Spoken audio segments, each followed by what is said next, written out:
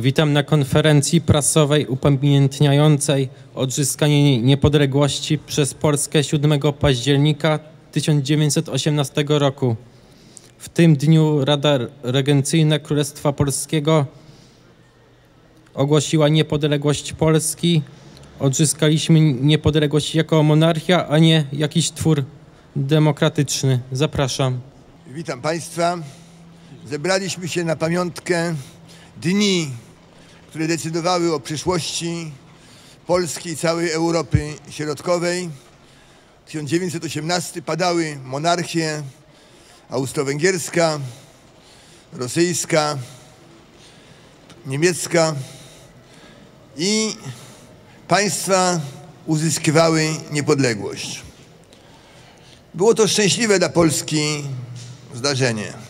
Gdy Polska była nadal w składzie Cesarstwa Rosyjskiego, to wpadłaby w szpony Związku Sowieckiego, tak jak wpadła Rosja, Ukraina, Białoruś i inne kraje, i inne kraje, i inne kraje Caratu. A Polska ocalała.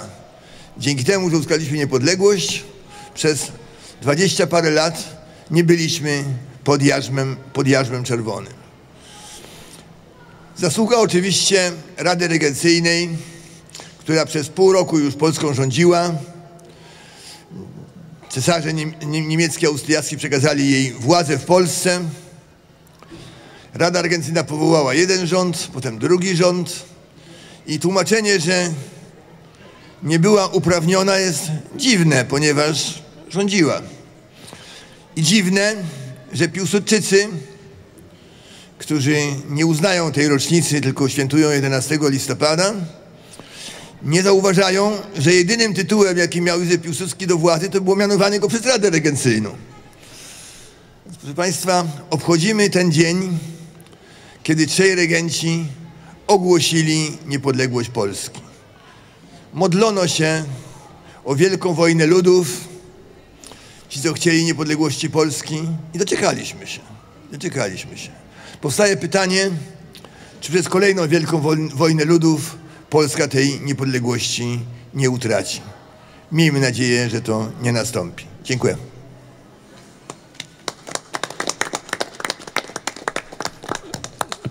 Piotr Heszen, Komitet Polityczny Konfederacji Korony Polski.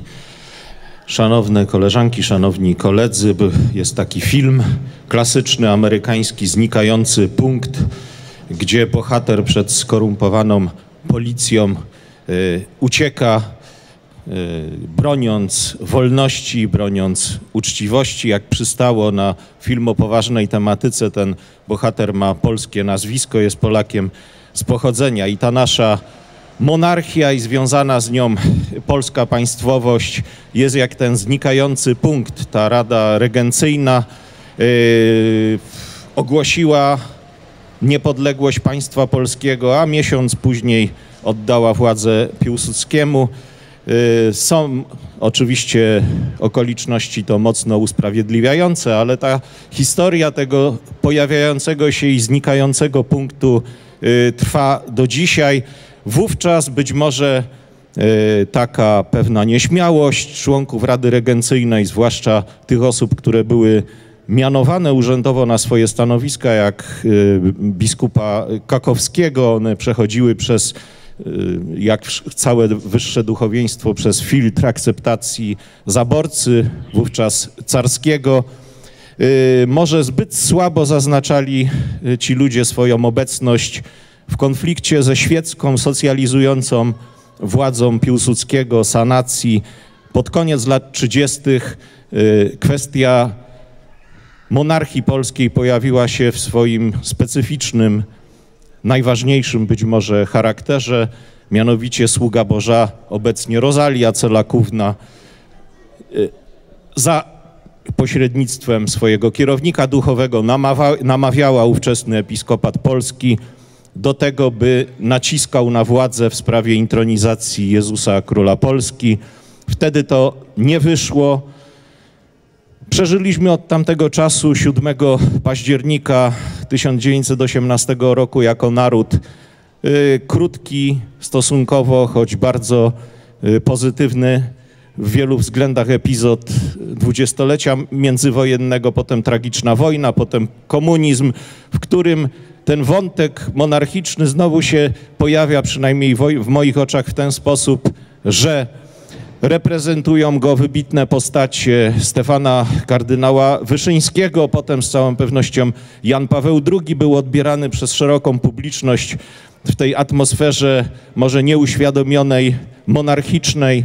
I taki najświeższy stosunkowo akcent to przełom wieków, nie pamiętam już dokładnie, czy koniec XX, czy początek XXI wieku, kiedy świętej pamięci poseł Artur Górski, y, kiedy stanęła publicznie sprawa ponownie intronizacji Jezusa y, Króla y, Polski, została storpedowana wówczas, ale nie wiem, czy Państwo macie tą świadomość, że było już bardzo daleko do przodu, że był przekonany wstępnie prymas Glemp, choć jako nastąpiła reakcja między innymi y, nuncjusza apostolskiego Kowalczyka, co się później okazało, iż jest, y, był tajnym agentem Służby Bezpieczeństwa PRL-u i całego tego środowiska. Sprawa skończyła się na zapowiedziach prymasa Glempa ogólnych, potem y, całe powietrze z tej inicjatywy zeszło, ale świętej pamięci poseł wówczas PiSu ówczesnego Artur Górski wniósł ustawę do Sejmu Rzeczpospolitej Polskiej uchwałę, przepraszam, która miała uczcić Jezusa Chrystusa Króla Polski. Została ona obśmiana, storpedowana przez zmodernizowane duchowieństwo, zagentarolizowane. No i obecnie jesteśmy my niegodni i ten znikający i pojawiający się punkt polskiej monarchii, czyli polskich źródeł, w których jedynie Polska istniała, bo w innej formie nie udało jej się ani długo przetrwać przed wojną, ani też w tej chwili widzimy, że schodzimy zupełnie po równi pochyłej. Spróbujmy rozniecić ten punkt, to światło. Dołączajcie do nas Państwo i miejcie nas na uwadze. Dziękuję.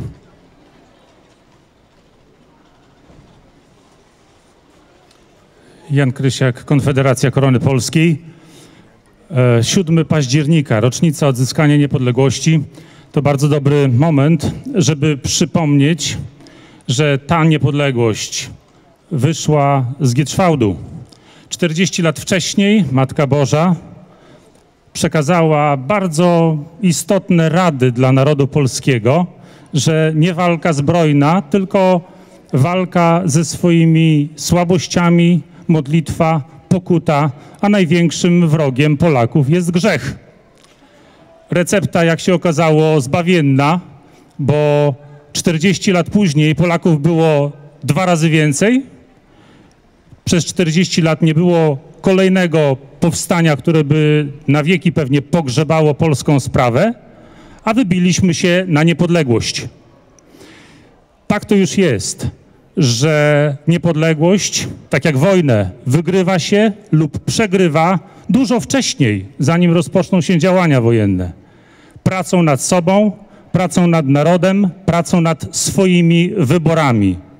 A jest co wybierać. Czy wybierzemy opowiedzenie się za ideałami rewolucji francuskiej, czy za ideałami tradycji? Czy za tym, co prawe, czy za tym, co nieprawe albo bezprawie, albo lewe, tak jest. Czy opowiemy się za tym, że królem jest naród z jego kaprysami, zachciankami, agentami, czy królem jest Jezus Chrystus? Dziennikarz podczas jednego z wywiadów zadał mi pytanie, jak to jest możliwe, że pan jest wolnościowcem, a jednocześnie chce pan narzucić jakieś y, zasady, katolickie. Odpowiedziałem mu, że nie ma wolności bez zasad. Wolność bez zasad to jest swawola. To prędzej czy później kończy się dyktaturą, kończy się wolnością jednych i niewolnictwem drugich, jeśli nie ma zasad. Proszę zwrócić uwagę, że w dzisiejszej Polsce, w dzisiejszych czasach w tę stronę to szybko zmierza No bo czymże są te procesy, które obserwujemy?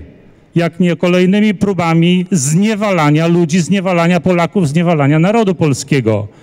Cały Zielony Ład, całe e, covidy, pandemie, podatki na każdym kroku, podatek od powietrza, podatek od wody, to wszystko zmierza do tego, od deszczu tak, to wszystko zmierza do tego, żeby uczynić nas niewolnikami.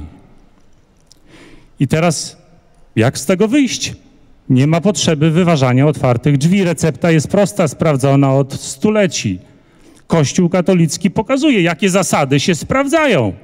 No bo sprawdza się zasada, żeby szanować ojca swego i matkę swoją, a tym samym swoich ojców, dziadków, pradziadków, swój naród, swoją ojczyznę. To jest chyba dobra zasada. Kolejne zasady: szanuj własność należącą do kogoś innego, nie kradnij. No to też dobra zasada, albo nie myśl nawet o wyciąganiu ręki po to, co jest cudze. W tej chwili ta zasada jest kwestionowana na każdym kroku. Tak samo jak kwestionowana jest zasada nie mów fałszywego świadectwa przeciw swojemu bliźniemu. Dzisiaj media pełne są kłamstwa. I co? I nic. Nikomu to nie przeszkadza, bo ktoś zapomniał o ważnych, odwiecznych zasadach. O, taka prosta zasada, żeby była rodzina, żeby było dużo dzieci, prawda? Dzisiaj jest, jest inny model, prawda? Inny model. Całe nieszczęście. I moi drodzy, na zakończenie chciałbym wskazać, że przez świat i przez historię Polski zawsze biegła i dzisiaj biegnie cienka linia oddzielająca jedno od drugiego, oddzielające prawdę od fałszu, oddzielająca zasady od braku zasad. Kiedyś sprawa była prostsza. Ten podział biegł pomiędzy komuną a pomiędzy kościołem. Dzisiaj sprawa jest trochę bardziej skomplikowana. W historii Kościoła były już takie sytuacje, że ta linia biegła przez środek Kościoła, ale Kościół sobie z tym poradził i dzisiaj sobie poradzi. Pytanie jest inne. Czy my sobie z tym poradzimy? I czy my rozpoznamy i staniemy po właściwej stronie tej cienkiej linii, czego sobie i Państwu życzę. Dziękuję.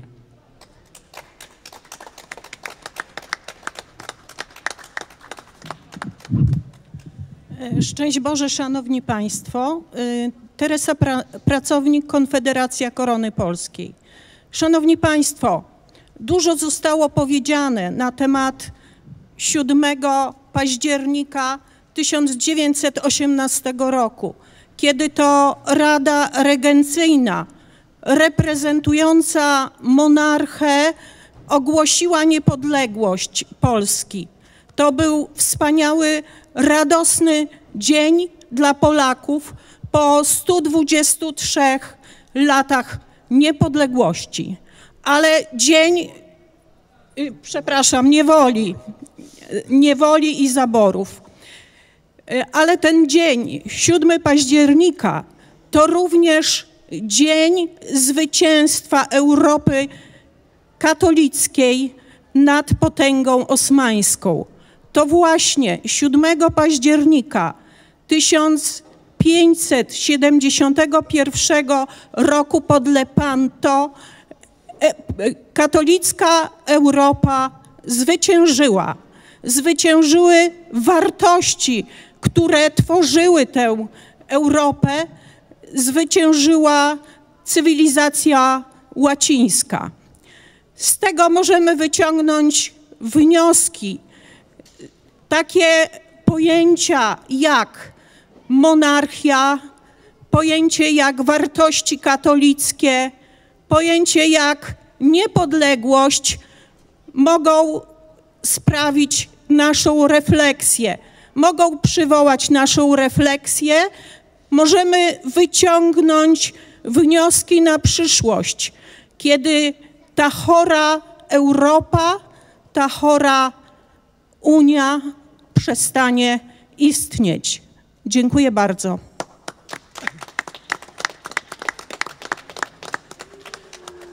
Dzień dobry Państwu i Jacek Władysław Bertyzel, wiceprezes partii Korwin. E, Szanowni Państwo, dzisiaj właśnie 7 e, października, więc ta 106.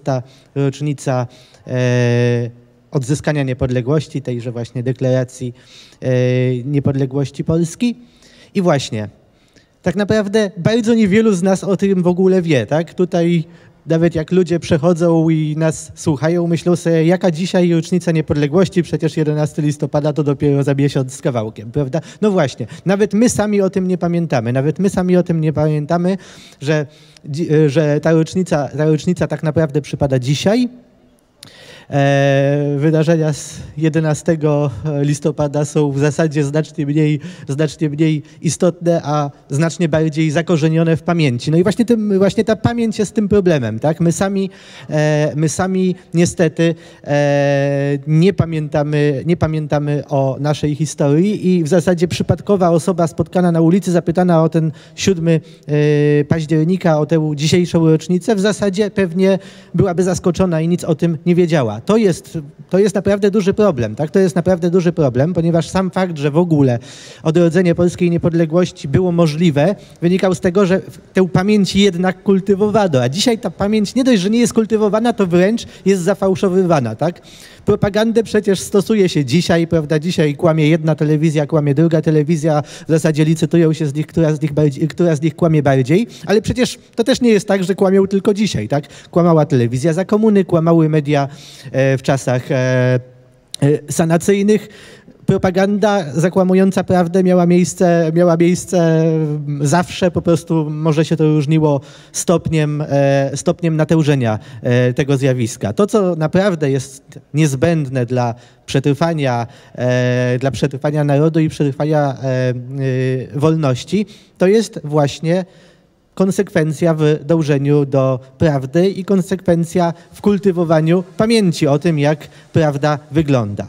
Druga uwaga dotyczy tej, tej niepodległości jako takiej. Tak? Świętujemy tą 106. rocznicę odzyskania niepodległości, ale też miejmy świadomość. To nie jest tak, że 106 lat temu ogłoszono tęże niepodległość Polski i Polska sobie była, jest i będzie niepodległa. Ani nie była, ani nie do końca jest, ani nie wiemy, czy będzie. Tak? Nie do końca, no nie była, no bo cóż, e, Potem e, e, w, e, w dwudziestoleciu międzywojennym prędzej czy później doszła do władzy sanacja, osłabiła państwo, była wojna. Po tej wojnie byliśmy pod, przez kilkadziesiąt lat pod okupacją komunistyczną. Było to odzyskanie niepodległości kolejne, można powiedzieć, prawda, po upadku komuny, ale znowuż się dorywały do tego różne kliki. Wreszcie wprowadziły Polskę do Unii Europejskiej. Unia Europejska sama na początku jeszcze udawa, udawała tam jakąś konfederacyjność tej struktury, dzisiaj już nawet nie udaje. Dzisiaj de facto już jest um, super państwem, można by powiedzieć federacją, ale nawet to słowo federacja jest na wyrost, ponieważ zaczyna mieć cechy państwa e, unitarnego, prawda, unijczyków i to państwa e, totalitarnego. Więc mówię, ta niepodległość nie była dana raz na zawsze, nie mieliśmy jej przez cały ten czas i wcale nie mamy pewności, co będzie w przyszłości. To, czy Polska faktycznie będzie miała niepodległość, czy de facto ją odzyska w, w stosunku do, e, no, tym razem wyrywając się spod rządów biurokratów, to zależy w dużej mierze od nas, od tego, czy właśnie będziemy e, E, czy będziemy e, pielęgnować pamięć o tożsamości narodowej, pamięć, czy będziemy e, pielęgnować dążenia do prawdy i do rzeczywiście, czy faktycznie będziemy troszczyć się o wolność, zarówno o wolność nas jako jednostek, jak i nas jako wspólnoty narodowej. Dziękuję. Ponieważ te sprawy dotyczą spraw sprzed 100 lat, więc przywitam się po staropolsku. Niech będzie pochwalony Jezus Chrystus. Nazywam się Jan Olszewski, jestem z Korony, okręg 19 Warszawa i proszę Państwa, tutaj chciałbym jeszcze raz przypomnieć, że 7 października, 106 lat temu, Rada Regencyjna po swojej rocznej pracy w monitorze polskim, to jest obecne y, do tej pory wydawnictwo oficjalne y, y, rządowe, ogłosiła akt niepodległości. Akt niepodległości ten wzywał przede wszystkim do wspólnotowości wszystkich Polaków, którzy byli podzieleni, rozdarci, a ten akt wspólnotowości i wzywający do, wspólnej, do wspólnego działania no, wywołał szeroki entuzjazm, ale ta praca Rady Regencyjnej, która y, y, no, regencja to jest nic innego jak oczekiwanie na króla i sprawowanie rządów w imieniu króla, była wykonana przez ponad rok czasu. Otrzymaliśmy państwo zorganizowane, państwo, które miało swoją administrację i swoje wojsko, przypominam, sztab generalny i w ciągu tygodnia czasu wszyscy żołnierze ówczesnego wojska polskiego złożyli przysięgę Radzie Regencyjnej jako y, niepodległego y, rządu polskiego, który był uznawany na arenie międzynarodowej. Dziękuję. Jeszcze raz wzywam do wspólnotowości. Tutaj, prawda, chciałbym tylko przypomnieć, że w obecnych mediach cały czas mówi się o wojnie polsko-polskiej, prawda, a wtedy właśnie wzywano, wzywano do wspólnotowości, do wspólnego działania ku yy, jak gdyby yy, erygacji państwa polskiego, czyli ufundowania ponownie państwa polskiego po 132 latach niewoli. Dziękuję.